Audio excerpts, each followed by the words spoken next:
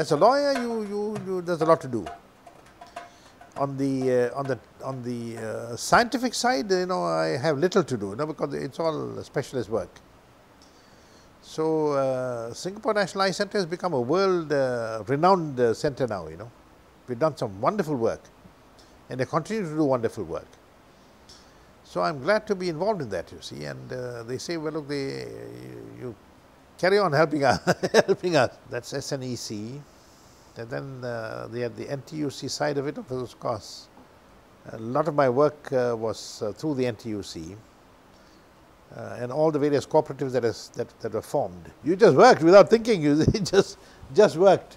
But we had a lot of very good uh, members, committee, mem uh, committee groups, very capable chaps. So that takes the load off you as well, you see. Well, I think Singapore has done very well. Singapore, looking around, uh, we have lost some of our great leaders, but we, uh, we carry on, you know, and the next generation has taken over. The foundations have been laid uh, as we pass on to the next generation, and they'll have to, to run Singapore, you see, and uh, take it to new heights.